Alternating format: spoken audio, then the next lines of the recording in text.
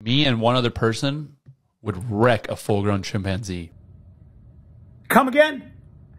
Uh, Bo and friend, uh, you just need to be educated, not your fault. Uh, let's take a look at what a chimp looks like when it loses its hair. Now, now, now, what are you going to do with that thing? You're going to blast double it, put it in a guillotine? Where's its neck? And you know how um, everybody's got a demon and an angel on each shoulder?